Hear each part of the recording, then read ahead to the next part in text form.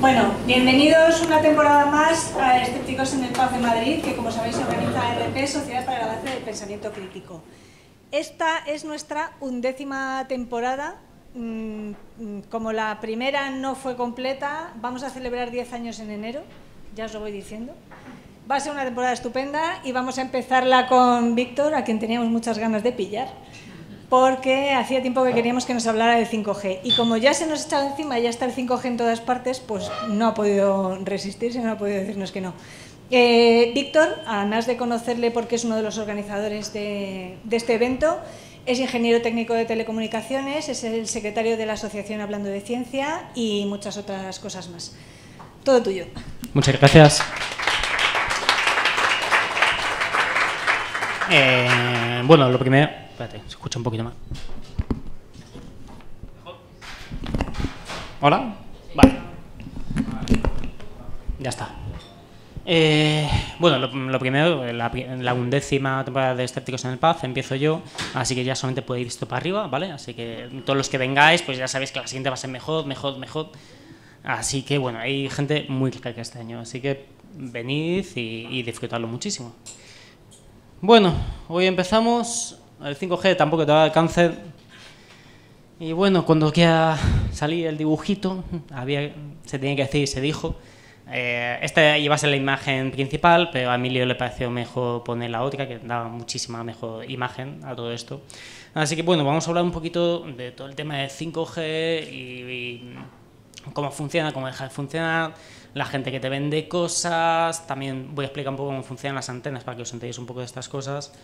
Y bueno, eh, lo primero que hice para poder preparar esta charla fue buscar algo muy loco que fue 5G eh, cáncer, ¿vale? Entonces directamente te aparecen varias páginas de, de locos ingleses americanos eh, pues diciéndote cosas bastante locas referente pues que te va a matar, que somos, que somos agua y claro, esto va a ser empezar a hervir y cosas por el estilo. Eh, también el, el esperma, que, del que traemos una diapositiva solamente, ¿vale? Que es muy, muy interesante. Y, empecé a navegar y empecé a encontrar más cosas más locas, más locas. Y, me encontré que, que, hostia, el 5G también tiene que ver con el cambio climático. Es decir, empieza a ser ya cosas muy eh, de gente un poquito que no, no, no, piensa mucho ni sobre capacidades, ni sobre potencia, ni sobre... Mm, es un numerismo total, ¿vale? Pero bueno, estos son, estos son americanos ingleses, bueno, imagino porque están escritos en inglés, eh, pero realmente tiene algo que decir. Esto en España no pasa, ¿no? Es decir, la, gente aquí en España es, un poco más seria, imagino. Imagino... Bueno, aquí hay unos cuantos colgados, ¿vale? Imagino que en España no pasa, pero luego esto pasó en el 2014, ¿vale? Eh, de, gente con gorricos de papel albal en Bilbao, ¿vale? Los bilbaínos son gente muy seria. Pero estos muy bien de la cabeza no estaban. Eh, a mí me daba mucha pena el niño con casco de bici y papel albal, ¿vale? Eh, ahí lo más peligroso que hay en esa imagen es la cantidad de golosinas que se están comiendo los niños. no, no, no pasa nada más. Y me da mucha vergüenza el padre este de, de aquí, la verdad. Y, pero bueno, estos son, cuatro colgados, ¿no? Eh, asociaciones serias no, no hablan de estas cosas. Desgraciadamente, Ecologistas en Acción tiene un departamento eh, específico para hablar sobre estas cosas. Eh, Ecologistas en Acción mm, ha sacado muchas noticias sobre esto, ¿vale? Ha sacado cada dos por tres la declaración de los campos electromagnéticos, eh, Suecia, Suiza, que nunca me acuerdo con la diferencia, eh, lo he prohibido, eh, es el tercer país con mayor velocidad actualmente.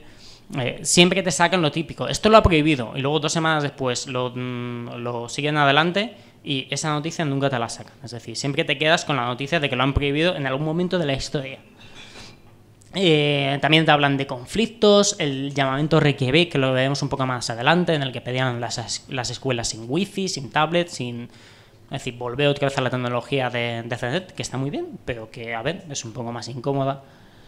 Eh, también estaban pidiendo la moratoria, pues el, 5 Appeal, eh, por el reglamento 1815 de la Comisión Europea.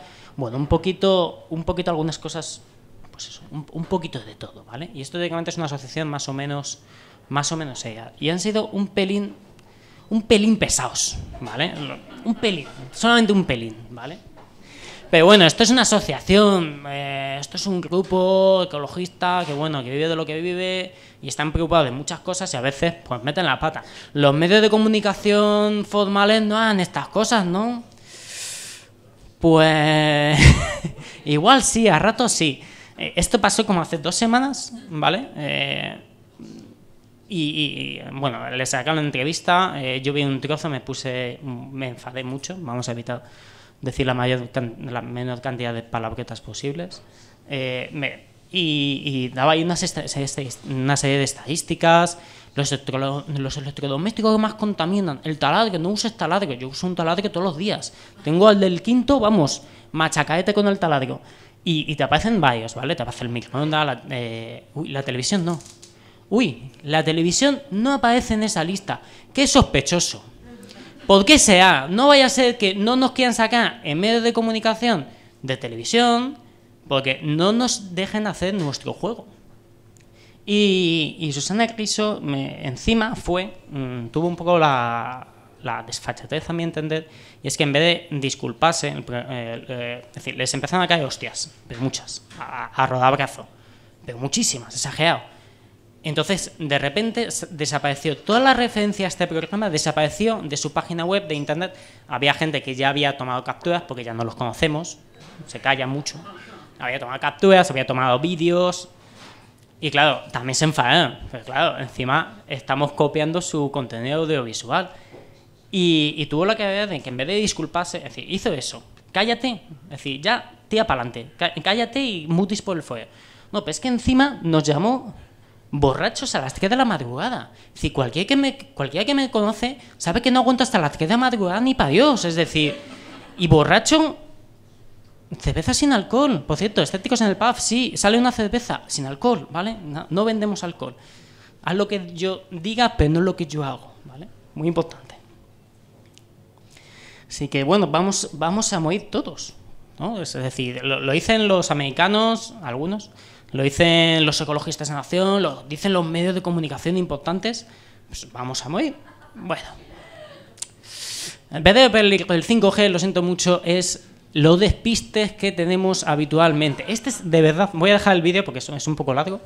de verdad, no, no, hagáis el gilipollas. Es decir, no, no, si vais con el móvil, no, no crucéis la calle. Es decir, mirad para un lado y para otro que luego pasan cosas. Y pasa y dice, ¡ay, qué risa! Pasan cosas. Bueno, mm, se ha caído, se ha tropezado contra un poste. Bueno, igual pasan más cosas. Por favor, eh, la DGT, está un poco desfasada la, la diapo, ¿vale? 104.000 eh, denuncias, ¿vale? Y ya no sé ya cuántos casos de, muertes, por favor. Dejad el móvil, ¿vale? Sin contestar, que no os... Si, si lo pilláis igual os moéis, ¿vale? Pero si no lo pilláis no os vais a morir. Ah, sí, eh, una breve introducción técnica de cómo funcionan las antenas. A mí me hubiese encantado ver el siguiente, los siguientes GIFs eh, en mis clases de, teleco. Hay que imaginarse muchas cosas. Es, feo, ¿no? Es como que muy feo, ¿vale? A la izquierda tenemos más o menos cómo funciona una antena. No os vais a enterar, es, normal, ¿vale? Una cosa es el campo eléctrico, el azul, el campo eh, magnético perpendicularmente en rojo, y a la derecha es un, es un esquema de radiación, ¿vale? las antenas radian, eh, dependiendo de la antena, hacia más hacia un lado, hacia otro, y puedes hacer cosas muy chulas con ese, apuntando las antenas. Cosas muy chulas, lo vamos a ver. Pero eso es más o menos una antena, una antena de tipo de dipolo. Pero claro, ¿cómo funciona realmente? Es decir, eh, tú coges y dices, ¿cómo fabrico una antena? Pues, ¿cómo se puede producir una onda electromagnética que viaje? ¿Vale? El truco es... Eh, acelerar y desacelerar eh, unas partículas cargadas, ¿vale? Que se forman un campo eléctrico. Cuando las aceleras y desaceleras, se genera un campo magnético perpendicular. Eso se llama campo electromagnético, ¿vale? Entonces, cuando suben y bajan, el campo eléctrico mm, le cuesta, mm, es decir, no se va deformando, pero se deforma raro, ¿vale? Entonces se produce una especie de codito y eso es como el campo eléctrico se va desplazando y ahí es cuando se va cerrando ese campo eléctrico y lo va lanzando. Eso es una onda electromagnética. Eh, una antena de tipo de dipolo, que, ¿vale? que es la más, más tonta que existe en el mundo mundial, ¿vale? básicamente lo que metes es un generador mm, eléctrico ¿vale? en medio, un generador de voltaje que va cambiando el voltaje de un lado para otro. ¿vale? Entonces simula ese acercamiento y ese corrimiento de, partículas eh, eléctricamente cargadas. ¿vale? Entonces funciona así. Se tiene de esa forma, entonces consigues emitir la onda. Y en un dipolo en los dos lados emites la misma cantidad de radiación. Pero no todas las antenas funcionan así. Es más, casi todas las antenas que usamos actualmente no funcionan así, porque nos interesa que la radiación vaya hacia un lado. Y en concreto hacia un punto muy concreto de ese, mm, de ese lado. Es decir, no nos interesa que vaya justamente casi toda la radiación en un ángulo de unos 5 grados. ¿Vale? No nos interesa que se expanda. Y así, ya tenéis un pequeño pincelada de cómo funcionan las antenas.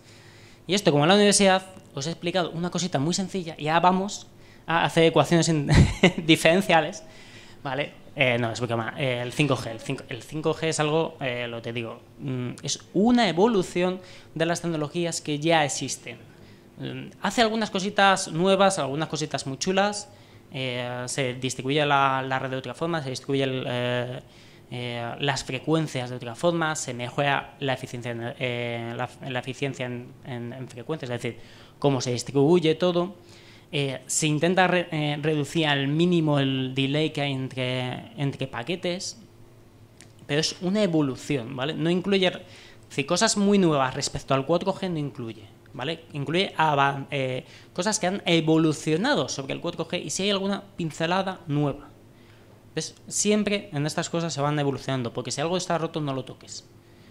Entonces no vas a tener toda una tecnología para meter otra, porque esa ponda en general suele tener muchos fallos. Vas eh, mejorando los componentes de forma independiente para ir mejorando el conjunto, ¿vale? Porque si no, además es muy caro. Y además eh, hacer eso te permite eh, distribuir la tecnología nueva con unos costes relativamente bajos. Porque si tuvieses que tirar todo y volverlo a levantar, eso es muy caro. Lo que os digo, una evolución simplemente, ¿vale? Empezamos en el 2G, eh, los SMS, ¿vale? Que ya nadie usa solamente para recibir las claves del banco, ¿vale? Y algo de phishing que te intentan timar y cosas por el estilo, ¿vale? Pero ya eh, habitualmente no, se usa, es muy raro. Eh, se subía al 3G, donde ya empezamos a tener algo de, de, acceso a Internet, ¿vale? No iba muy rápido, iba mm, lentico, pero bueno, ya podíamos hacer algunas cositas. Eh, luego en el 4G ya eh, incluimos eh, unos accesos a internet suficientemente rápidos como, para poder enviar vídeo. Esto en algunos casos no es muy útil, pero en otros sí es relativamente relevante. pero es vídeo normal, es en baja calidad y bueno, bateando. En el 5G vamos a poder enviar alta definición en vídeo. hace unos meses una televisión inglesa hizo una transmisión en directo en la que cogió eh, una tecnología 5G para decir, esto es maravilloso, madre mía, mía, altísima calidad de vídeo, maravilloso, están transmitiendo y se corta la, comunicación. Se alucinando, máxima cobertura, esto yo no lo entiendo, no lo entiendo, se les había agotado el paquete de datos. Claro, es que gasta muchos datos. Si tú contratas un paquete de datos pequeñito y estás haciendo transmisión en alta calidad de vídeo, es que se comen muchísimos datos. Entonces, claro, hicieron una prueba, pues cuando fueron a hacer la transmisión de verdad, pues eso, a, pero cortísimo, es decir, es que estaban transmitiendo, pum, pum, toma por saco la, la cobertura y es uno de los principales uno de los principales problemas que tiene el 5G, ¿vale? Que eso lo tienen que, arreglar las, las, compañías con ofertas y tarifas planas, es eso, es que bajo los paquetes de datos que, habitual, eh, que actualmente tenemos en 4G, esto no tira para ningún lado. Es decir, esto tiene que ser como la fibra óptica. Es decir, datos ilimitados y te ajusto el ancho de banda máximo al que puedes ir. Y bueno, Made in Spain, ¿qué significa eso? Eh, eso significa que España está a la cola en la velocidad del 5G, ¿vale? O sea, con la diapositiva anterior, ¿vale? Veis que el 5G está predispuesto a llegar hasta los 95 GHz, que es súper loco, ¿vale? Y con 10 gigabits por segundo, ¿vale? Es muy, muy, muy bestia. Y actualmente en España estamos contando con 666 megabits por segundo, ¿vale? es, relativamente bajo. Eh, yo entiendo que eh, según vaya evolucionando, más que la, tecnología, eh, sino ir mejorando las antenas y ampliando las frecuencias, ¿vale? Que no están todas habilitadas, no están todas desplegadas, ni mucho menos. Estas velocidades seguirán subiendo, igual que en Estados Unidos, Suecia y demás. Por cierto, hay el tercer país, ¿vale? Ese es el que había bloqueado el 5G según Ecologistas en la Nación, ¿vale? Lo, bloqueó, eh, pidió un nuevo pliego de especificaciones, se les entregó el pliego de, especificaciones y ahí está. A veces eh, los, las grandes noticias de esto lo han bloqueado. Eh, lo único que tienes que hacer es volver a revisar, la, bueno, revisar. Tienes que volver a revisar la información dos o tres semanas después porque cuando aquí hay mucha pasta de por medio, a la hora de realizar especificaciones y arreglar algunos puntos y mm, detallar exactamente de lo que estamos hablando, corren que se las pelan. Y así, el 5G, ¿cómo funciona? ¿vale? Tenemos eh, cinco grandes grupos sobre esto, ¿vale? Tenemos eh, las frecuencias, ¿vale? Es decir, las frecuencias, al fin y al cabo, cada tecnología funciona a bandas de frecuencias que se les habilita, ¿vale? Hay una serie de, corporaciones, una serie de, de, organismos que deciden qué frecuencia se usa para cada cosa. Y luego cada país, dentro de eso, decide, pues mira, te vendo esta banda de frecuencia no sé cuánto te vendo esta no sé cuántos, te vendo esta no sé cuántos. El principal problema que tenemos en 5G con las bandas de frecuencia es que vamos a tener que resintonizar otra vez la televisión. ¿Vale? Una banda de frecuencia dentro del 700 muy pequeñita, ¿vale? Va a ser más un de otra cosa, que se la lleva al 5G y no la quitan de la TDT. Así que vuelve a tocar resintonizar la televisión. Eh, luego está la banda de 3,6 GHz y habilitada en España, pero de momento no se está usando, que yo sepa, es la de 26 GHz, ¿vale? Probablemente esta tenga un uso un poquito más entre, entre antenas, entre comunicaciones, más que móvil antenas, sino entre antenas, ¿vale? Que lo vamos a ver. Eh, luego, Small Cell, MIMO y conformación de haces son tecnologías que ya existen en 4G. lo que han hecho ha sido una evolución, una adaptación al 5G han puesto, por ejemplo, han mejorado algunos tipos de antena, han, ampliado la cobertura, han hecho varias cosillas, pero son cosas que ya existían en LTE 4G. ¿vale? Y lo más curioso es el full duplex. ya también lo vamos a ver. Eso de ahí, ¿vale? Que igual os encontréis por Madrid de vez en cuando. Es una cajita así pequeñita que parece un, un este de fibra óptica, ¿vale? De casa, ¿vale? Eso es una antenita, el 5G funciona de una forma eh, bastante, mm, bastante curiosa. Bueno, el 4G también funciona de, la misma forma. La idea es eh, poner muchas antenas pequeñas más que antenas muy grandes. ¿Por qué? Porque las antenas grandes, además de que suponen un coste relativamente alto, eh, siguen teniendo problemas de cobertura. En cambio, cuando tienes una, una calle muy saturada de personas, o muy recóndita y es difícil ponerla, le puedes poner esto. Entonces aumentas el número de antenas que existen, entonces la cobertura en general mejora. ¿Vale? Este tipo de antenas en concreto, la que se ve en la foto, es una antena, bueno, aquí lo veis que es como que fuese todo radio, ¿vale? Eh, eso se puede hacer. Y eso se hace en ferias, eh, por ejemplo, la de Libro, la de Albacete, la de Sevilla. Eso se hace. Es decir, se tienen antenas que se comunican con otras antenas para transmitir la cobertura a los usuarios. Pero en ciudad, en, zonas estables, lo que se hace directamente es tiras fibra óptica. Entonces tienes distribuidas muchísimas antenas pequeñas a base de fibra óptica y así, si viene a la feria del libro, pones dos o tres, eh, dos o tres eh, furgonetas con antenas de este tipo, pero que funcionen con radio, ahí sí es posible que estemos trabajando con enlaces de 26 GHz. ¿Vale? Entonces mejoras muchísimo la cobertura. El beamforming, ¿vale? La conformación de haces. La conformación de haces es algo muy, muy, muy, muy, muy chulo, ¿vale? Tú puedes coger una antena y le pones otra antena más abajo, y otra antena más abajo, y otra antena más abajo, ¿vale? Te puedes hacer un array.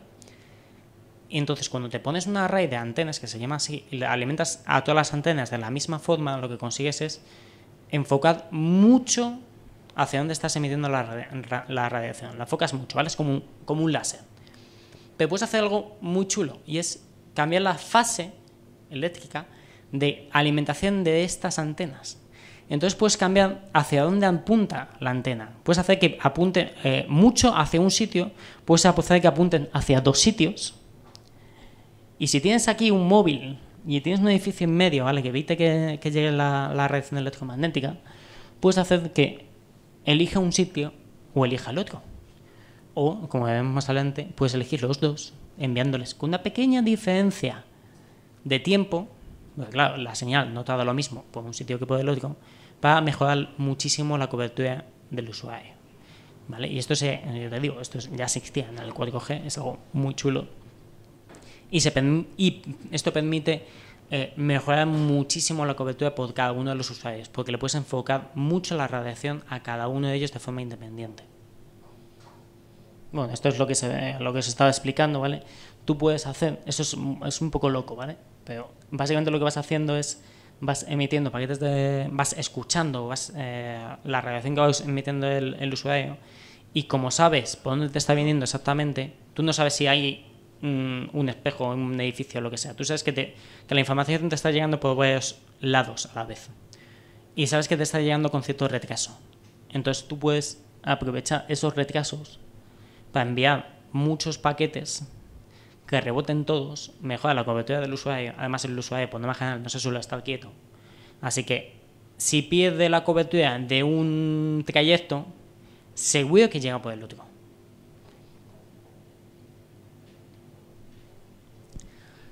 Mimo.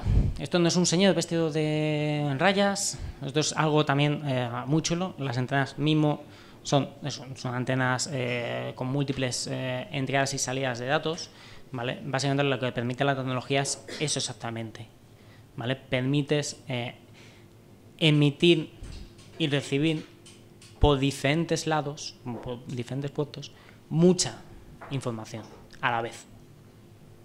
Básicamente se hace algo así, en plan a lo bestia. ¿Vale? Ponemos muchas, muchas antenas, ponemos muchos puntos de escucha de emisión, de, ya hay, aprovechando la conformación de haces, podemos emitir la radiación para que llegue al usuario o recibirla, que es un poco más raro, ¿vale? Porque los móviles de los usuarios eh, son un poco más simples, no puedes tener 64 antenas en un móvil. Las, mm, los móviles de alta gama, los iPhone XS y cosas por el estilo, ¿vale? Sí pueden tener dos, cuatro antenas, ¿vale?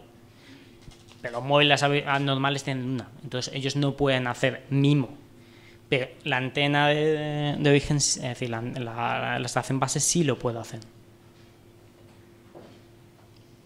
Y luego el full duplex, ¿vale? Uno de los principales problemas que ha habido, eh, que siempre existen con las, eh, con las comunicaciones y en radiofrecuencia, y siempre se han aplicado diferentes tipos de, de técnicas para, para poderlo evitar, es que si tú emites en la misma frecuencia dos dispositivos, se chocan y se fastidia todo. ¿Vale? Una de las técnicas que se, que se, eh, implementa es, eh, bueno, eh, tú emites en una frecuencia y yo emito en otra frecuencia, entonces consigues un camino full duplex de ida y vuelta en diferentes frecuencias. También puedes hacerlo en tiempos, es decir, yo emito ahora en 10 milisegundos y tú emites en los 10, 10 milisegundos siguientes y así, ¿vale? Entonces, bueno, se implementan. Y aquí también hay otras cosas que han hecho otras gentes, ¿vale? Que es rollo escuchar las interferencias, entonces van haciendo cancelaciones de interferencias y demás, ¿vale? Es decir, hay múltiples técnicas, pero al final la idea es eh, reducir la cantidad de canales, de frecuencias que necesitas eh, a uno. Esto, una, una frecuencia para enviar y recibir, ¿vale? Y eso es más o menos unas pinceladas muy, muy por encima de, de la tecnología 5G. Tampoco me quiero extender mucho porque, bueno, al fin y al cabo, esto es una evolución. Es decir, mm, las técnicas que se usaban en el 4G tampoco distan. Eh, es decir, las técnicas que se usan en 5G tampoco distan mucho de las de 4G. Se mejora la velocidad, la, eficiencia, la red también, que no lo, no lo he mencionado, si están en las diapositivas. También se ha cambiado eh, parte del backbone eh, de, las, eh, de las empresas de telecomunicaciones para reducir los tiempos y demás. Pero el principal miedo, porque estamos en escépticos en el PAF y las diapositivas de antes no son muy escépticas, ¿Vale? Eh, el principal bien, miedo viene del señor antes que, vení, que apareció en espejo público diciendo que esto es malísimo. ¿Vale? Ese señor te está diciendo que el microondas es malísimo y evidentemente la tecnología 5G de tu móvil es peor. ¿Vale? Así que voy a explicar un poquito por qué estas cosas no son peor y uno de los argumentos más básicos que hay es diferenciar entre ionizantes y no ionizantes. Vamos a empezar por un punto. las radiaciones ionizantes son capaces de eh, producir efectos mutagénicos, ¿vale? Es decir, pueden provocar cáncer, mutaciones, eh, etc. Las no ionizantes no es que sean inocuas, es que el principal problema que tienes es que cuando te atraviesan ceden parte de la energía y te calientan. ¿vale? A las potencias a las que trabajamos eso es ridículo, luego os voy a enseñar las potencias. Pero sí pueden producir un efecto. Es más, el infrarrojo es una frecuencia no ionizante que te da mucho calocito. Así que cuando alguien nos diga que el 5G te puede producir cáncer porque ionizante, ¿vale? Le recuerdas que entre el 5G, que anda en la frecuencia entre los donde está 10 elevado a 9 en el gigahercios, ¿vale? Hasta el ionizante, que se empieza a comer la parte eh, de las frecuencias ultravioletas, ¿vale? Tiene que pasar por el infrarrojo, por la luz visible y por el ultravioleta tipo A. Así que, si alguien dice, eh, yo es que apago el móvil por la noche por si gaso y se va al rayo suba, mm, no te fías. Es más, si tiene frío en invierno, por favor, que no se acerque a un radiador, porque un radiador también emite eh, frecuencias en el infrarrojo. Así que, por favor. Bueno, esto es una diapositiva un poco, un poco fea, ¿vale? Eh, una explicación simple, ¿vale? ¿Por qué patatas? Es decir, ¿por qué la reacción ionizante es ionizante, ¿vale? La reacción ionizante y por qué tenemos un límite. Eh, imaginaos, le voy a robar un poco la, la referencia a Félix Saez. imaginaos que tenéis un futbolín, ¿vale? El futbolín funciona a partir de monedas de 50 céntimos. Bien, ¿no? Si echas dos monedas de 20 céntimos, ¿te va a funcionar el futbolín? No. Pues esto es lo mismo. Eh, los fotones tienen que tener una. Porque la red. Eh, eh, todo el tema electromagnético, básicamente, la partícula es el fotón, es decir, la luz. Podemos tener frecuencias altas, frecuencias bajas, ¿vale?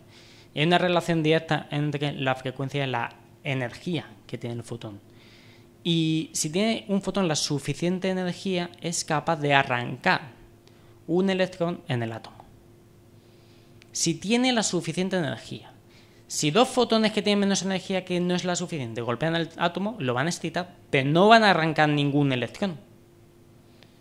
Y cuando arrancas un electrón, ese, ese elemento químico, que imagínate que estuviese asociado a otra molécula, a otro elemento, haciendo una molécula, se volvería inestable y se podría asociar con otra. Por lo tanto, ahí es cuando empezaríamos a entrar en problemas de replicación celular. Bueno, eh, esta diapositiva, que como veis es la tabla periódica, espero que todos lo sepáis, ¿vale? Tiene unos numeritos que no vais a ver ni de coña, porque se ve fatal, aquí.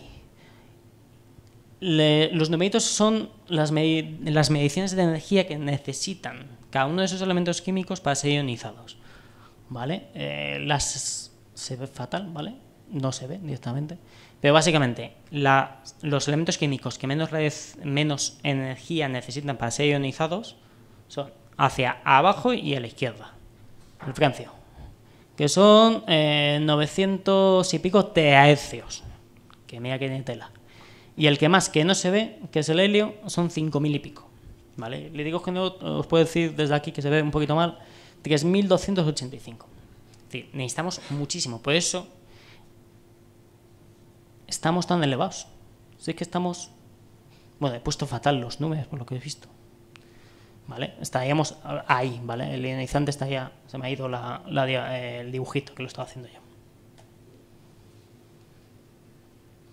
Y hay una serie de radiaciones ionizantes que nos la comemos todo el día y parece que nadie se preocupa mucho de ellas más que cuando se va a la playa y si eso se echa crema solar. Y es eh, las reacciones ultravioleta, ¿vale? Ahí se, se ponen tres, ¿vale? El A, el B y el C. El A, el C no llega, el C se queda eh, fuera, ¿vale? Fuera de la Tierra, nunca llega a la, eh, nunca llega a la superficie. El A, y el, el A y el B sí llegan, ¿vale? El A no es ionizante, pero es muy energético y por lo tanto puede provocar que me veas. Y el cuerpo reacciona produciendo melanina, por eso nos ponemos morenos. Y el B sí es capaz de ionizar y puede producir eh, efectos mutagénicos, por lo tanto sí te puede provocar cáncer. Pero es que curiosamente eh, la reacción ultravioleta tipo B es imprescindible para producir vitamina D. Eh, yo esto no lo sabía, esto yo me enteré hace, hace un par de meses y no es que vamos a evitar la ultravioleta B, no, es que, es que si no tomas nada de ultravioleta B, no puedes producir vitamina D. Es decir, la puedes consumir en huevos y demás, pero no la puedes producir, así que es imprescindible en un organismo normal, ¿vale? Ese proceso. Dentro de radiaciones, eh, os he puesto un número muy feo, ¿vale? Muy largo. 50.000 microvatios o centímetro cuadrado, ¿vale? Esa es la radiación que recibe el Leganés eh, al día. Es decir, en área diurna es la que recibe 50.000 microvatios centímetro cuadrado. Es feísimo este número. Pero es imprescindible que más o menos lo tengáis en la cabeza, porque luego cuando estemos hablando de las potencias que estamos eh, recibiendo en las antenas, vais a ver ese salto brutal entre una cosa y otra. ¿Vale? Entre esos 50.000, bueno, entre toda la radiación que recibimos, pues recibimos un 42 de visible, un 53 de infrarrojo y ya el resto es el ultravioleta, ¿vale? Ultravioleta A y B, ¿vale? De B recibimos muchísimo menos. Eso es lo que yo estaba refiriendo porque produce cáncer, ¿vale? se ve un poquito mal, ¿vale? Hay, es una putada, ¿vale? El 60% de, las, de los casos de cáncer ¿vale? Se ven a mutaciones genéticas que no tienen nada que ver con vuestros hábitos. ¿Vale? No, lo siento mucho, es decir, aunque seáis súper sanos y no toméis nada ni nada, ¿vale? Eh, se sabe que el 66% de los cánceres se deben simplemente a la replicación celular, ¿vale? A esa replicación. Ten en cuenta que, en cada de, que cada una de nuestras células tiene 3.000 millones de pares de bases y se genera un fallo por cada 100.000. Por norma general, el cuerpo es capaz de arreglar esto. ¿Vale? El ADN tiene una serie de, sistemas para, volver a modificar y arreglar. Pero en ocasiones se producen fallos.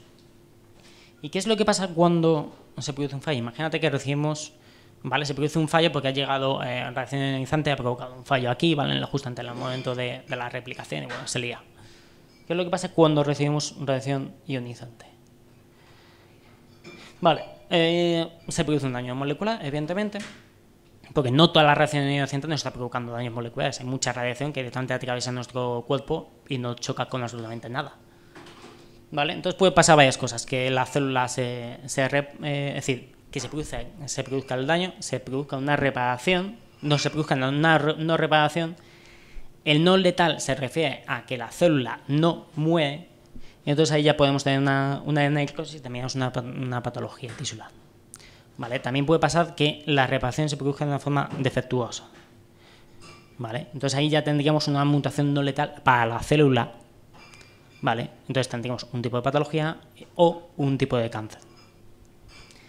Y en los casos buenos es o se produce una parada de ciclo y se produce una reparación correcta, ¿vale? O directamente en el mismo proceso de replicación se repara. ¿Vale? y ahí tendríamos una supervivencia celular y no, pasaría nada. Me he saltado una, ¿vale? Que es cuando se produce una mutación, eh, cuando se produce una reparación eh, defectuosa. Eh, la propia célula tiene mecanismos para suicidarse, ¿vale? No provoca más daños. Y también puede pasar que cuando se produce una mutación no letal, nuestro sistema inmune sea capaz de detectar esta célula que ha tenido este tipo de fallo y que no se ha muerto, no se ha suicidado, y la elimine. ¿vale? Eh, hay una charla maravillosa, me parece que era de Paula Ruiz, que habla precisamente sobre eh, cómo el sistema inmune y el cáncer usan diferentes técnicas para engañarse el uno al otro. ¿vale? El cáncer es muy puto. Y así. Os he dicho que la radiación ionizante puede provocar problemas. También os he dicho que la radiación no ionizante también puede provocar problemas. Pero ¿cuáles son los estudios de peligrosidad sobre las mm, comunicaciones? Recordemos que recibimos del Sol 50.000 microvatios por centímetro cuadrado. Vale, de una antena a la que está a unos 20 metros, ¿sí? recibimos unos 2 microvatios, ¿vale? 50.000, 2. Y eso cuando estemos a vista de antena. En una situación real, ¿vale? Eh, este cálculo lo sacó la Universidad de Albacete. En concreto fue parte de, una investigación de un compañero nuestro, Alberto Naje, una mod de señor, si lo conocéis. Le sabéis de mi parte porque es que es, esa mod, ¿vale? Eh, y su equipo de investigación ponía una serie de dispositivos en una serie de, ciudadanos, unos dispositivos muy buenos que iban recopilando las, radiaciones por frecuencias que iba recibiendo esa persona. Y al final calculó que la media de radiación que recibe una persona es el equivalente a una bombilla a un kilómetro. Es ya no es que estamos hablando de los 2 microvatios, es que estamos hablando de una cantidad muchísimo menor.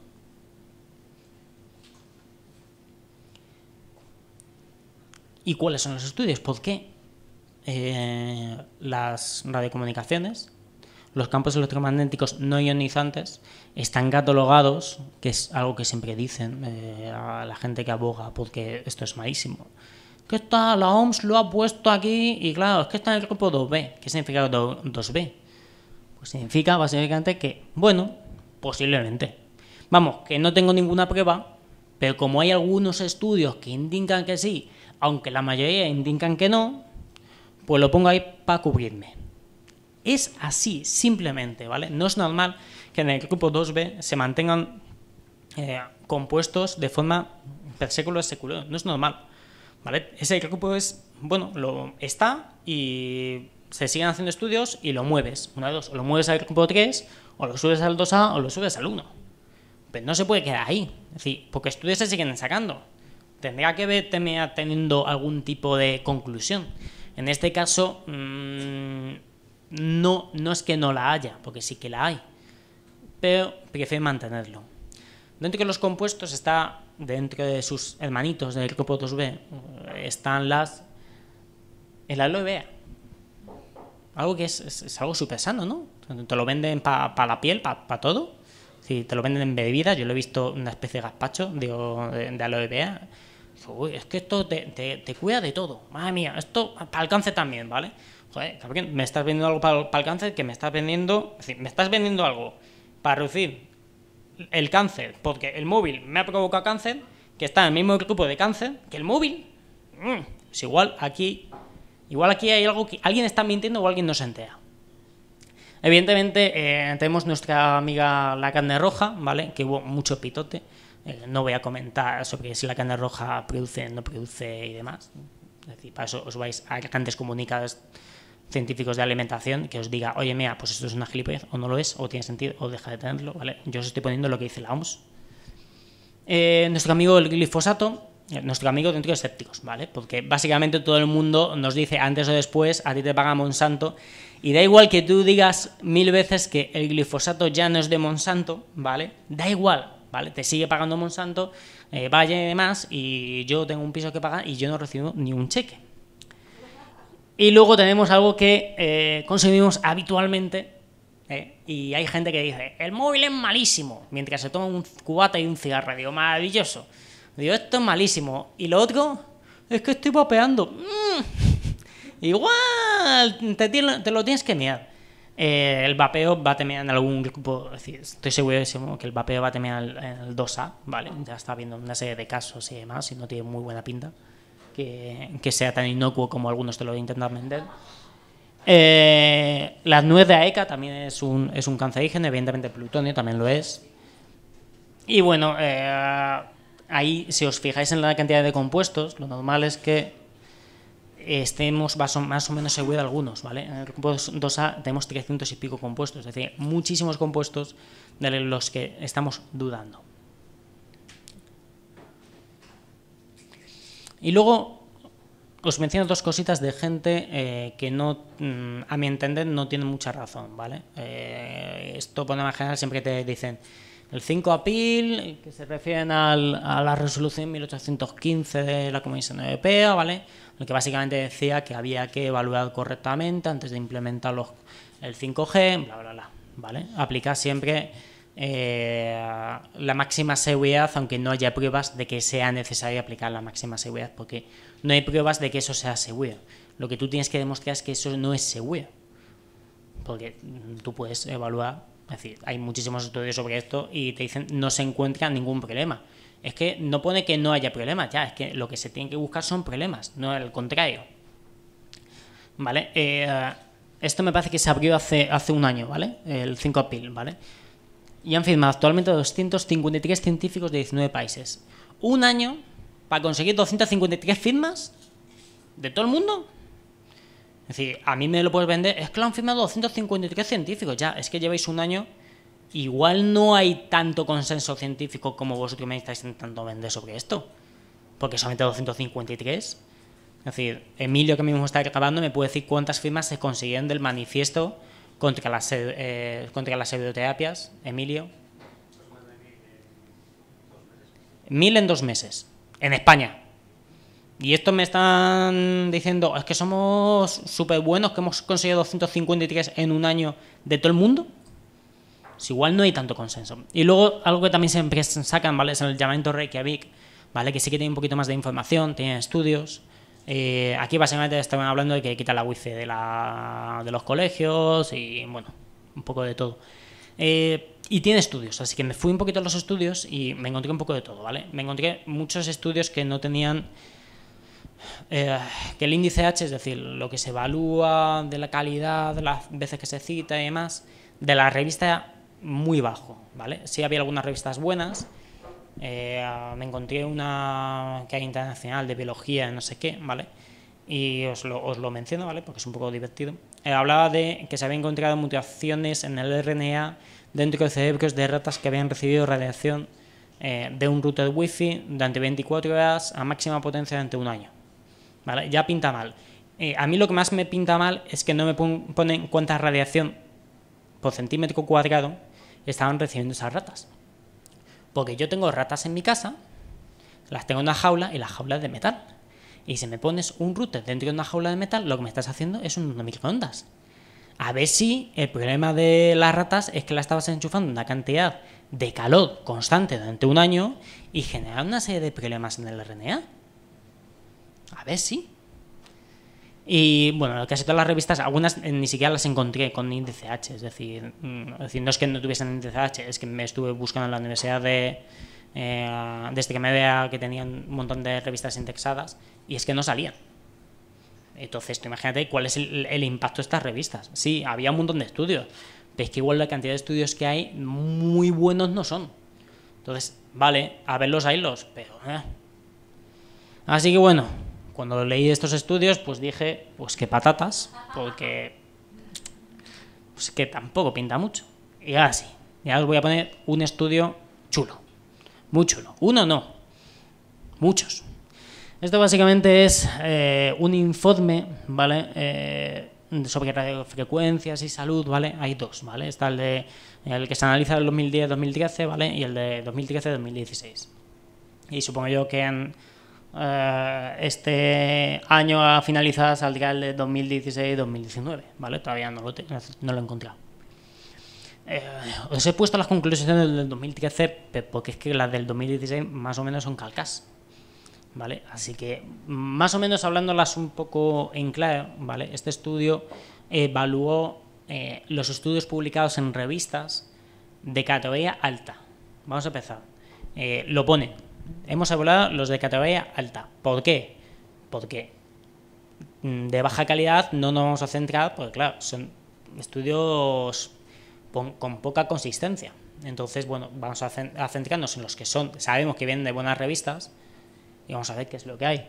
Y predominan los metaestudios sobre los estudios individuales, es decir, se basan en los estudios que habían hecho otros grupos de investigación en el que habían cogido todo el trabajo publicado y habían publicado sus propias conclusiones. Entonces, este trabajo contiene muchas, muchas, muchas referencias y todas de calidad más o menos buena, alta. Así que, por un lado, si nos fijamos, si cumplimos con la normativa, tal cual, es decir, cumplimos con la eh, eh, normativa internacional, de sobre las radiaciones no ionizantes, si cumplimos los límites de, eh, radiación, no se encuentran problemas. Sobre el tema de las ratas, si tú me estás metiendo una cantidad de radiación no ionizante muy loca a las ratas y te estás pasando estos niveles, no me estás haciendo un estudio correspondiente que se pueda aplicar en humanos, porque en humanos aplicamos la normativa.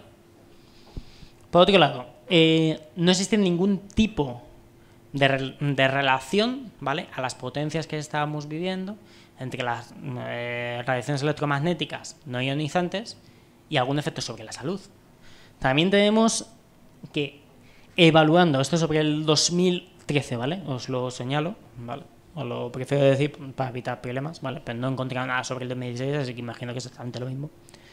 Eh, sobre la evaluación de aumento de tumores cerebrales durante 10 años. Es decir, sabemos que han aumentado el uso de tecnologías inalámbricas, vamos, que todo el mundo, hasta los niños pequeños, llevan móvil, y durante 10 años no hemos conseguido ver ni siquiera un incremento en tumores. Así que la relación móvil-teléfono no tiene mucho que ver, porque si aumenta el número de móvil debe aumentar el número de tumores. Y no hay.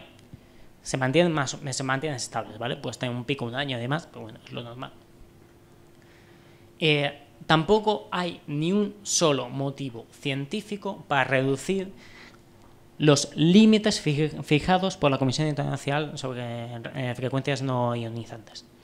Es decir, eh, por ejemplo, el llamamiento Reykjavik y demás solicitan bajar las potencias. ¿Por qué? Porque patatas. Porque no hay ni un solo estudio, es decir, en conjunto no hay una sola razón para reducir la potencia. Y es como así. Es que aunque se redujesen las potencias, actualmente estamos eh, en límites, es decir, la realidad de trabajo de potencias está muy por debajo de los límites puestos. Es decir, las podrían bajar a la mitad o a una cuarta parte y no habría que cambiar la tecnología ni nada. Es decir, es que no hay problema. Y aún así tampoco hay una realidad para poder para tener la que baja. También sabemos una cosa muy sencilla, ¿vale? La misma razón por la que se ponen antenas pequeñas. Porque cuanto menos, bueno, mejor dicho, mejor retiro lo anterior, ¿vale? La misma razón por la que ponemos muchas luces en vez de una sola en espacios muy abiertos. Y es que cuando ponemos muchas luces, las podemos poner de menos potencia, porque se distribuye mucho mejor la luminosidad. En cambio, si tú quieres eh, iluminar una sala muy amplia, con una sola bombilla, esa bombilla tiene que ser muy potente. Y si te acercas a la bombilla, te quemas. Entonces, si pones muchas antenas, la suma de potencias es menor que la de una, antena única. Y además se distribuye mucho mejor la radiación y no tienes huecos en los que no haya luz. ¿Vale? Pues así que básicamente se aplica lo mismo. Si queremos reducir la potencia que recibimos de antenas de radiación electromagnética, lo único que podemos hacer es aumentar el número de antenas. Y así cae absolutamente la radiación que recibimos porque no vas a tener picos de radiación, vamos a tener un nivel relativamente constante de radiación y mucho menor. Eh, igual, ¿vale? Eh, la población española, ¿vale? Eh, porque este, este, análisis lo realizó la Comisión Española, no, no, no, no ha encontrado ni un solo problema. Es decir, sabemos que recibimos y emitimos en potencias muchísimo inferiores a los límites marcados. Y por último, la comisión lo dice y la OMS lo vais a ver, que también lo dice, no hay ni una sola relación casual entre la exposición a los campos electromagnéticos y a la mal llamada electrosensibilidad y eh, sensibilidad mm, eh, electromagnética, lo que, lo que es poner el nombre. No existe relación casual. Es decir, independientemente de que tú le enchufes a una persona con electrosensibilidad Mm, potencia radioeléctrica, si esa persona no sabe si se la estás enchufando o no se la estás enchufando, esa persona ni se entera. Con lo cual, no, es que no hay, no relación. Supongamos que, ¿vale? Igual que eh, en física las vacas son esféricas, ¿vale? Pues aquí unos hicieron un pequeño estudios, eh, simularon eh, a un niño de 10 años, ¿vale? Este es un poco más pequeño, pero me da igual, me gusta mucho la foto, así que la he puesto cogían, simulaban un niño de 10 años, simulaban poner un router a toda potencia a 3 centímetros de su cara, ¿vale? Y ver cuánta radiación recibía al niño con eso, ¿vale? Es una simulación, no lo hicieron de verdad, ¿vale? Pero los cálculos son bastante buenos, bastante exactos. Así que tuvieron que recibía 817 milivatios kilogramo de radiación. ¿Eso qué significa? ¿Vale? El límite está en 2 eh, vatios eh, por kilo, ¿vale? Es decir, estamos lejos. Pero es que encima eh, pusieron, bueno, los routers wifi van, no siempre están emitiendo a máxima potencia. Lo normal es que estén emitiendo, me callo, emito, me callo. Entonces, al final de media, lo normal es que esté emitiendo recibiendo en el 1% del tiempo. Es hay que dividir esa cantidad entre 10.000. Digo, entre 100, lo siento. Así que ya estamos aún más lejos de los máximos fijados por ley. Estudios de Finlay y Divilow. Eh, no lo sé pronunciar. Volvemos a la electrosensibilidad, ¿vale? Eh, los grupos antiantenas, ecologistas de nación y demás dicen que la Organización Mundial de la Salud, patatas. Repito mucho patatas porque dicen que la catalogan como una enfermedad, pero el texto asociado a la Organización Mundial de la Salud no lo menciona. ¿Y por qué? Porque si lo mencionasen, cualquier persona que leyese ese artículo les llamaría idiotas. Porque si la OMS, que la ha catalogado como una enfermedad, dice que no existe una relación casual, significa que la OMS la ha catalogado como una enfermedad porque mucha gente la llama de esa forma, entonces cojo, la meto en registro y digo, hay personas que tienen este padecimiento, hay personas que están recibiendo eh, bajas laborales por este padecimiento, pero añado que este padecimiento no tiene nada que ver con la exposición, su rayo exposición, a las ondas electromagnéticas. Sí que tiene que ver, según los estudios realizados, al conocimiento o no eh, del paciente, del enfermo, de si está recibiendo ondas, electromagnéticas. ¿Y esto cómo se le llama? Ah, bueno, lo siento, me he saltado una. Eh, ¿Cómo la gente le vende la electrosensibilidad al público en general? Porque los síntomas de la electrosensibilidad hacen un poquito, eh, un poquito de todo. Entonces, cuando tienes muchos síntomas, seguro, seguro que alguien le encaja. Eh, dolor de cabeza, me hago pis, eh, no, no, duermo bien, me estreso, mm, se me cae el pelo, yo, qué sé, es decir, puedes tener cualquier tipo. Entonces, al final, lo que se produce en muchos casos es el efecto placebo y nocebo. El efecto placebo es algo que conocemos muy bien, porque básicamente es lo que usan muchísimos eh, naturópatas para engañar a la gente. Es decir, la gente se siente bien, le hacen como que le estuviesen dando un tratamiento real y al final ese paciente, por esa atención que está recibiendo, se piensa que está recibiendo un tratamiento que funciona y por lo tanto me siento mejor. Son cosas puntuales, pero el paciente sale muy contento de la consulta. Pero existe el hermano mm, malo. Y el hermano malo se ha visto muchas veces que es muy, muy problemático en el tema de la electrosensibilidad o sensibilidad química múltiple, que es exactamente lo mismo, ¿vale? Se produce. Son personas que tienen un miedo tal que tienen eh, efectos visibles, es decir, les llegan a salir hasta sarpullidos, no es que se que sientan mal, es que se les llegan a salir hasta sarpullidos, debido al miedo que tienen. Están tan obsesionados que se van a morir por, por el wifi que tiene el vecino, que ni salen de sus casas, empiezan a volver, me empiezan a tener muchos problemas y esas personas son las que terminan eh, perdiendo básicamente su vida, y les dan la baja laboral y se van a vivir en medio del monte con mil cosas hipoalergénicas, gastándose unas cantidades ingentes de dinero en cosas que no funcionan. Entonces, sí, hay eh, eh, cuestiones judiciales, jueces que han dicho que esa persona eh, padece electrosensibilidad y se le tiene que dar la baja laboral. No niego que a esa persona se la tenga que dar la baja laboral, lo que tiene que añadir el juez, y por favor, si hay algún jurista en, la sala que me corrija, no sé yo si es viable o no, eh, forzar de alguna manera que esa persona reciba tratamiento psicológico. Sí, te doy la baja, pero ve al psicólogo, al psiquiatra, al que, al que aplique, que no voy a decir a quién Lo que sí existe, y algunos recordáis este GIF, este vídeo, es una pequeña relación entre eh, calidad de esperma y el uso del teléfono móvil. ¿Vale? Eh, como bien sabéis, espero que lo sepáis todos, porque sería un poco raro que no lo supieseis, los testículos están fuera del cuerpo, es decir, están en una bolsa. La única, la única razón para la que estén colgando, ¿vale? Es porque necesitan una temperatura ligeramente inferior a la del cuerpo humano. Si, que si lo que hacemos es encasquetarles en un espacio más o menos comprimido, véase unos vaqueros, y encima les ponemos una fuente de calor, véase un móvil, porque claro, estamos usando el móvil durante 10 minutos con la pantalla todo trapo, metemos el móvil bien calentito al lado de los testículos y encima los móviles son pequeños. Ups.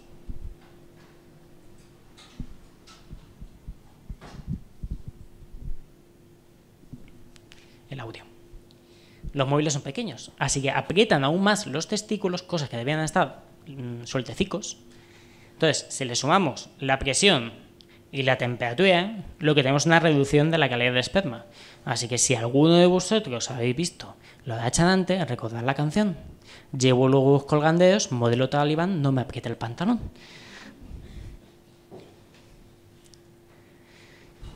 Y ya volvemos a la gente que es mala, mala, mala y se aprovecha de muchísima gente que se piensa que se va a morir por el uso del móvil, wifi, bluetooth, bueno, excepto el sol que le está dando todos los veranos, le está acabando la piel, se va a morir de todo.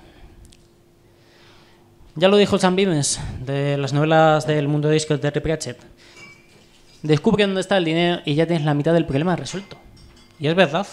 Si buscamos a quienes se benefician, igual empezamos a encontrar las fuentes de información que dicen que estas cosas son malas.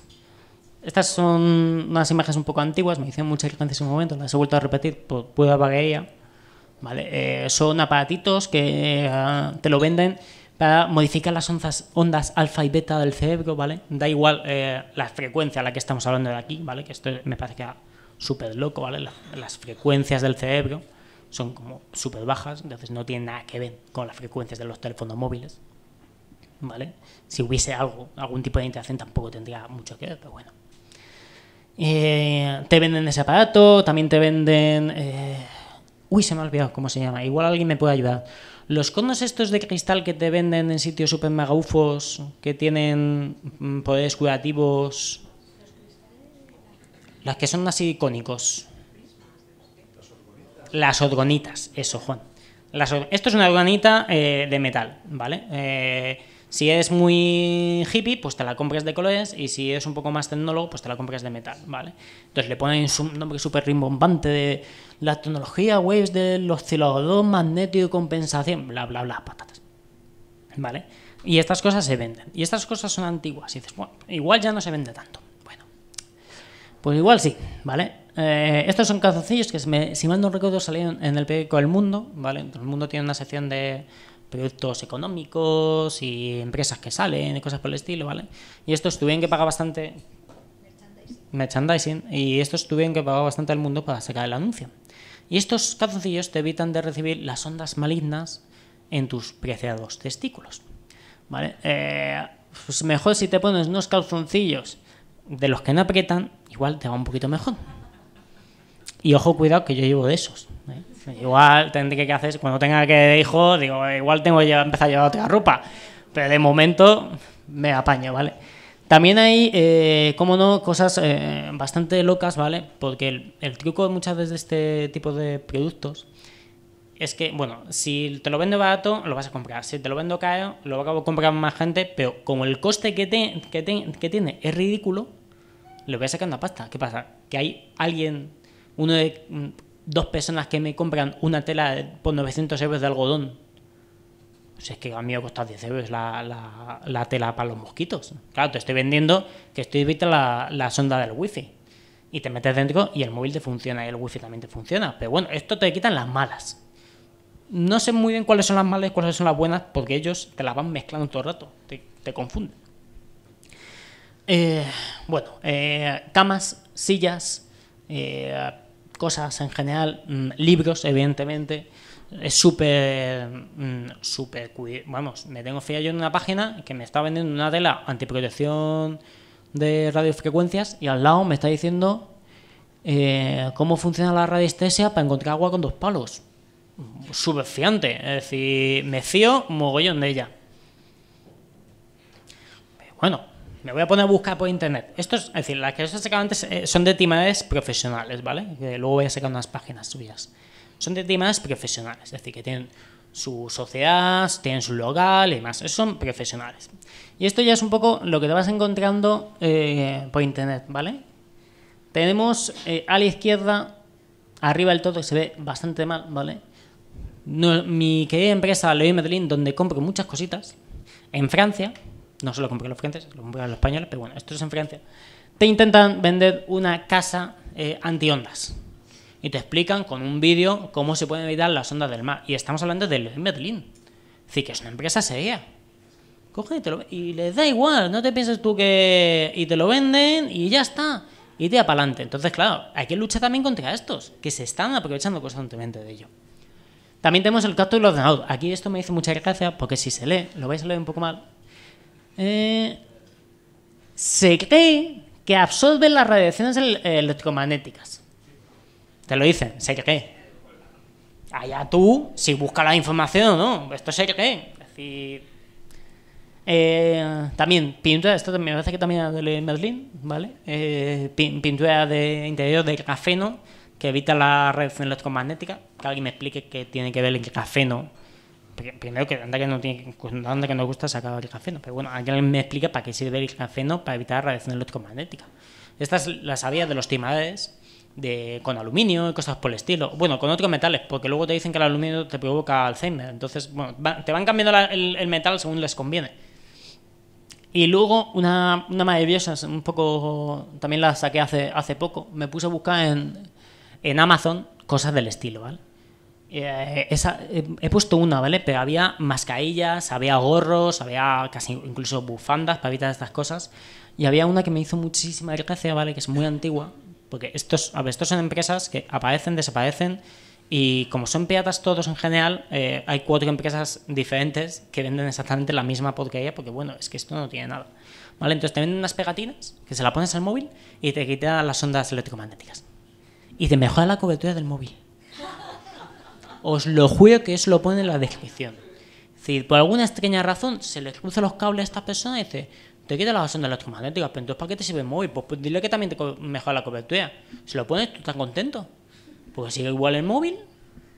No, pues tú te piensas que te va bien, te gastas tus 10 euros, que estos son productos baratos. ¿Vale? Pero las camas sean mil pavos. Es decir, lo que te digo. Ese producto tienes pues para todo el mundo. Esta imagen es muy antigua, ¿vale? Eh, esta imagen la sacó, la sacó Mauricio, eh, de apellido impronunciable, ¿vale? Conocemos mucho, es o algo así, ¿vale? Tiene nombre de reloj, apellido de reloj, es, un señor, un encanto de señor.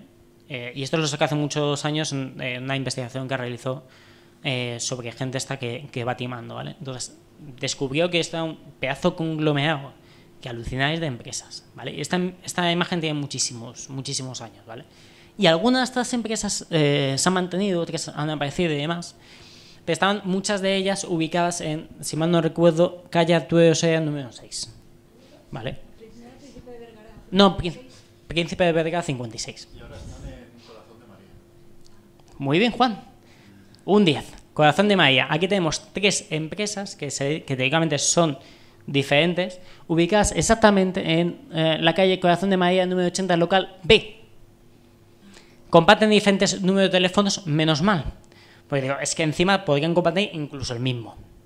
¿Vale? Y estos, eh, estos son los mismos que estaban antes, ¿vale? Estos son los mismos que llevan años vendiendo cursos y de todo. Es más, estos, y algo que, que yo lo vi y se me cayó el alma al suelo, la Fundación Vivosano, ¿vale? Que también es de este, de este conglomerado, si veis, eh, le saqué la, la, captura de Google, próximos eventos. Jornada, jornada, grupos de apoyo y duelo al final de la vida. Yo no me río. Es decir, esta gente está haciendo grupos de apoyo para gente probablemente con cáncer terminal. Tal cual. Con sus dos. Es decir, estas personas le están probablemente fastidiando los últimos, las últimas semanas, los últimos meses de vida a estas personas vendiéndole cosas para poder conseguir que vivan algo más y en cambio lo único que están haciendo es sacarles el dinero. Y esto se vende así como grupo de apoyo. Es decir, esto es, no sé yo si es denunciable, pero le falta algo. Que alguien me diga. Es decir, yo cuando me volví a encontrar las tres empresas, porque yo me puse a buscar, a ver dónde están, y más, hace, hace un año y pico. Digo, se han separado, digo, han sido listos. Digo, porque así, como siempre estamos nosotros criticándoles, cuando hemos hecho charlas de este estilo, los que somos más o menos habituales en, este tipo de, de, información, le sacamos, digo, siempre mencionamos que son las que al mismo lado y por lo tanto, bueno, que no te puedes fiar de ellos. digo, ya no están en principio de, de Digo, han sido listos y se han quitado. Digo, se han separado de empresas con la pasta que cobran y lo pueden hacer perfectamente. Y cuando me encontré, que otra vez volvían a estar al mismo, que he hecho brecha. Digo, esto es que mira que son racanos, es que mira que lo han podido montar de otro, de otro lado, les da igual. Es decir, sus seguidores, igual que los de Pamies, eh, da igual que le estés quitando totalmente el argumento, ¿vale? Van a ser foquitas que van a hacer así, ¿vale? Y les da igual, van, a estar enfocados porque es casi una religión. Y esto es exactamente lo mismo, ¿vale? Les comen la cabeza. Y bueno, ya se acaba la charla. Estas son mis referencias, las buenas, las malas. Las buenas eh, menciono a, a, Nage, me parece que en un, en un par de papers. Eh, ya os digo yo que si puedes verle alguna charla de las suyas maravillosas, se pone calzoncillos antirradiación y te pelotas a la gente, es muy, muy dinámica todo. Y las malas, pues espero que no las, no las visitéis porque es, es basura, ¿vale? Así que muchísimas gracias por vuestra atención. Empiezan los ruegos, las preguntas, así que...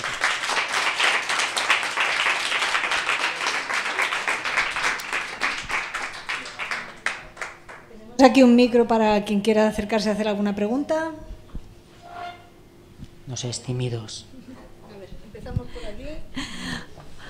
Em, hola, eh, quería saber, ¿hay, ¿has encontrado muchas diferencias en los argumentos de la gente que decía que la tecnología, que el 5G eh, va a dar cáncer, diferentes a los argumentos que hacían contra el 4G o el 3G? O sea, ¿han cambiado los argumentos según ha ido cambiando la tecnología o siguen siendo los mismos y R? En concreto el 5G, como se aumentan las frecuencias, eh, así han añadido que es como que mil veces o un millón de veces más peligrosa, ¿vale? Que, el, que lo anterior, ¿vale? Nunca sé muy bien de dónde se sacan esos datos.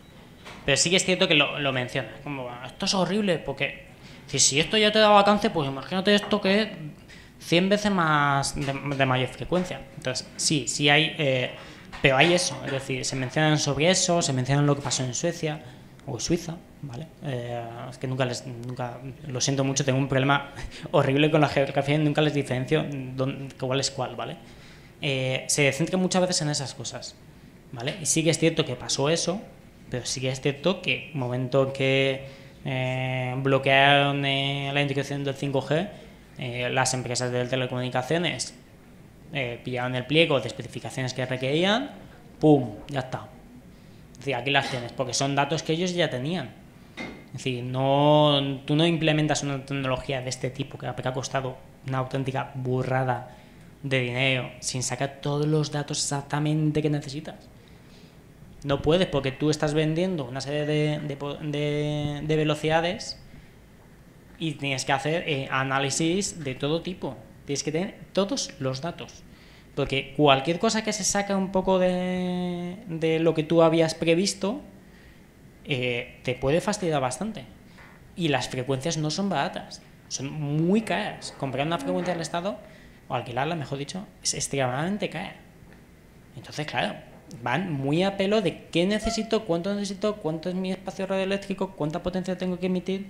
Eh, si me va a salir rentable, hacer la brutalidad esta de instalación de actualizaciones y demás, en algunos casos, con pruebas en, en, si, mal, no recuerdo, en Talavera de la Reina, es decir, ahí tuvieron que hacer implementaciones reales de tecnologías, porque yo entiendo que en Madrid eh, había muchas tecnologías que ya existían y han tenido que hacer unas actualizaciones más o menos pequeñas, porque por el volumen de personas que hay en Madrid necesitan más antenas y más cosas.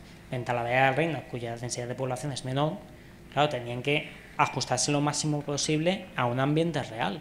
Entonces ahí tuvieron que saltar pasta. Y bastante. más licencias, más mil cosas.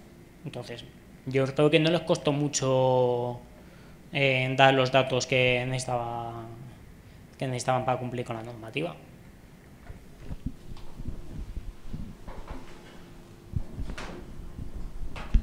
Eh, a ver, un par de, asuntos. Uno, eh, por completar un poco lo que habías comentado antes de cuando comentabas que una persona con la supuesta electrosensibilidad... Eh, si es que no quiero ponerme delante de la cámara. Eh, que no sabía distinguir cuando estaba encendido o no la wifi, aunque estuviera encendido eh, pues si no lo sabían no tenía ninguna repercusión. Me parece todavía más interesante lo que hacen ahora mismo cuando ponen antenas nuevas de telefonía, que es dejarlas una temporada apagadas para que la gente vea que están ahí y si alguien empieza a quejarse, poder decir, oye, mira, es que ni siquiera las hemos encendido, lo tuyo no es por las antenas. Eh, lo cual me lleva un poco a la pregunta que quería hacerte. Al final, todo este tipo de miedos tecnófobos creo que más o menos se diluyen, ahora me dices tu opinión, pero diría que más o menos se diluyen con el tiempo cuando surgen otras tecnologías en las que enfocar, en las que estos timadores al final eh, encuentran de, de, dónde sacar ese miedo. ¿no? Por ejemplo, en su época fueron los postes de telégrafo, luego la radio, la televisión, todo eso ha pasado ya, ya nadie tiene miedo, creo, a la radio. Pero si a la telefonía, ahora la tiene, antes la tenía la telefonía normal, ahora ha salido la 5G, eh, yo supongo que los estafadores van un paso por delante y estarán preguntándose ya qué va a ser lo siguiente a lo que hay que tener miedo. ¿Cuál, es el siguiente paso? ¿Lo sabes? Yo creo que ya han comprado, los dominios de 6G cáncer, es decir, de verdad. Eh, creo que ellos son bastante conscientes de que estas cosas van evolucionando, entonces al final los argumentos tampoco van distando mucho, siempre se basan en lo mismo. Está demostrado que, ¿dónde están las pruebas? Es que se hizo un, estudio in vitro con potencia de 20 vatios enchufándole a no sé qué. Vale. Siempre, al final siempre se basa lo mismo porque es que, a ver, no son buenos investigadores. No se van buscando los últimos artículos sobre el tema. Se van buscando lo que ya saben. No, no, es, que es eso, es que no son investigadores por nada general. Sí hay personas serias que han, están investigando sobre eso, sí hay personas serias que tienen que son investigadores que tienen ciertas reticencias sobre las implementaciones de este tipo. Pero que tú tengas reticencias no significa que eso vaya a provocar daño. Y eh, hay, que, hay que evaluar todos los estudios existentes. Entonces, eh, los timadores de este tipo, los timadores, no los investigadores, ¿vale? Eh, yo estoy convencido que son, van a ser los primeros que van a comprar los dominios de SG Cáncer y DG Cáncer y cosas por el estilo. Porque hay uno, varios de ellos se lucran económicamente de esto, ¿vale? La primera página que he sacado, ¿vale? Que va a decir el 5G cáncer, ¿vale? Va a decir en inglés. Yo creo que es gente que... No te voy a decir loca, ¿vale? Pero no creo yo que en sí sean timades. Creo que simplemente son las típicas personas que mm, se piensa que esto es malo y hay que aplicar algún tipo de medida súper estricta y hay que hacer eh, presión a los gobiernos para impedirlo y demás. Y ellos sí son, no son los timados, suelen ser los timados, sinceramente. Y sinceramente creo que estas personas lo hacen con todo el... Eh, con toda la, eh, ¿Cómo se llama? Con toda la sinceridad del mundo de que esto es malo. Es que encima los pobres pierden la guerra del 5G y se el 5G y encima pierden la guerra del 5G y les venden las chorradas. Es decir, pierden dos veces. Una de la que son conscientes y la segunda que les están timando. Y por el otro lado me habías dicho, ah, sí, las antenas que se apagaban y demás. Eh, no sé yo si realmente es para que las compañías de telecomunicaciones tengan un punto de apoyo o realmente porque los procesos de provisionamiento son muy lentos. Voy a poner un apunte rápido, ¿vale? Eh, en, una, empresa en que estaba yo antes, ¿vale? Tenían que hacer eh, una comunicación directa con Vodafone, ¿vale? No voy a mencionar la empresa porque hacían cosas un poco... Bueno, que se estaban saltando un poco la, legalidad respecto a una serie de contenidos y demás. Entonces tenían que hacer eh, una serie de cosas con, Vodafone y lo que hace ya. Pero ya, ya es ya, ¿vale? Y Vodafone les dijo, vale. Y, Vodafone no tenía ni idea. Vale, vale perfecto. pues me tiene eh, el provisionamiento, me tenéis que pasar los datos, tal cual, y está en un mes. ¿Un mes? Sí, sí, un mes. Pues sí, porque eh, estamos nosotros físicamente en el mismo CPD que ellos. Es decir, era literalmente coger un cable de unos cables de fibra óptica, pagar a la empresa que tenía esto y, diga, que me dijese, metías el cable de aquí a aquí, 100 metros de cable, o un kilómetro de cable dentro del edificio. Vale, lo deja, bueno, pues el provisionamiento, es decir, una cosa es que estuviese enchufado, porque el provisionamiento tardaba un mes, un mes, y luego había que hacer pruebas. Entonces, eh, yo simplemente creo que aquí cogen y plantean en el proyecto de instalación esto, esto, esto y esto. Entonces, todo va con, en proyectos de este tipo siempre va con márgenes, bueno, en general si lo haces bien. Porque puede pasar cualquier cosa que, oye, mira, que es que el, techo no aguanta, tienes que meter viga de metal para que aguante el, peso. Entonces, lo pones todo, ¿por qué? Porque luego va a llegar una persona que tiene el día no sé qué, tiene que hacer el aprovisionamiento de la antena, tiene que dar de baja no sé qué. Porque igual, si no da de baja, igual se produce interferencia. Entonces, claro, eso sí supone un tiempo. A la empresa de comunicaciones le viene fantástico ese tiempo, pues si alguien se queja, porque siempre no. Había, un caso, si mal no recuerdo, en Angola, ¿vale? No sé, vale, país africano, ¿vale? Muy grande África. Y, y fue un caso peculiar porque hubo un efecto malcebo tan brutal que la gente tenía eh, eh, mm, eh, eh, ronchones por todo el cuerpo pues claro, les habían puesto una antena, me parece que era una antena punto a punto, ¿vale? No era ni siquiera una antena de, móviles, es decir, que, es que esa antena ni siquiera te está emitiendo para ti, es que está emitiendo para el horizonte. Hasta la siguiente antena que está a 20 kilómetros.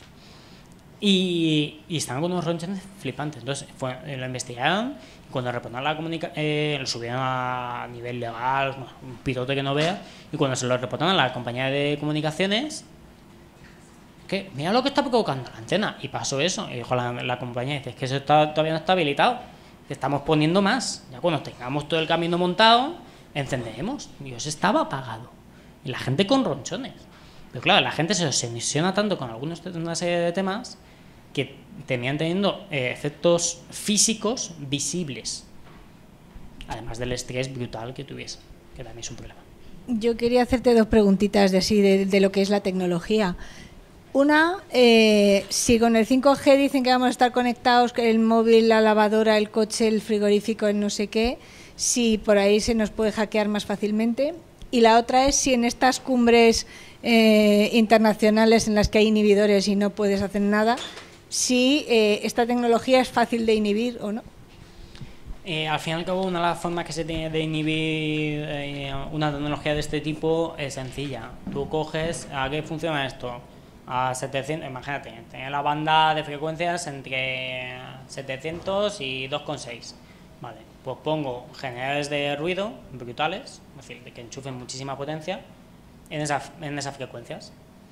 Le meto muchísimo ruido a la señal, entonces la señal de 5G queda por debajo del nivel de añadido que yo le estoy metiendo. Entonces así es como se anula.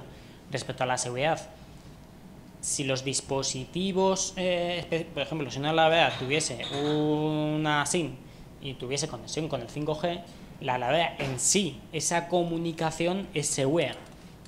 En sí esa comunicación va cifrada y demás.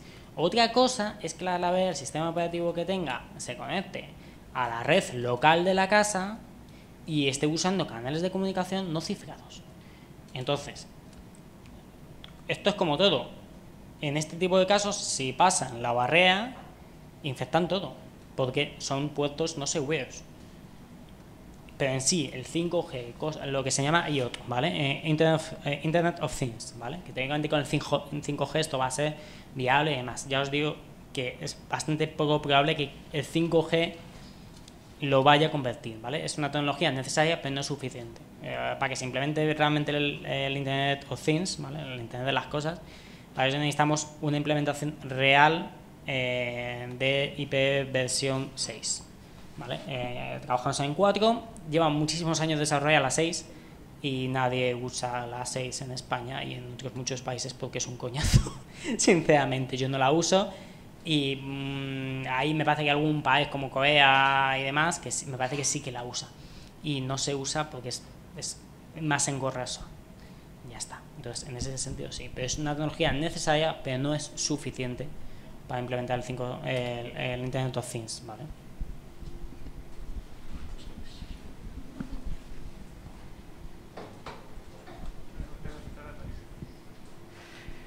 Bueno, gracias. Muy, muy brevemente. A ver, los humanos parece que queremos normalmente tener salud, tener razón, no cometer errores, si podemos no darle mucho a la cabeza, a la cebolleta, para no, en fin, no, no, no cansarla demasiado frente a problemas abiertos de los que no conocemos un montón de cosas. La pregunta brevemente es, ¿crees que con el tiempo, según van saliendo las nuevas generaciones, la, eh, desde el entorno tecnológico, científico-tecnológico, se va incrementando un poco la, la necesidad de conciencia comunicativa a la población, por lo menos para que le llegue un poco más de conocimiento. Gracias. Eh, vamos a hacer. Eh, está aumentando la necesidad de comunicación en general.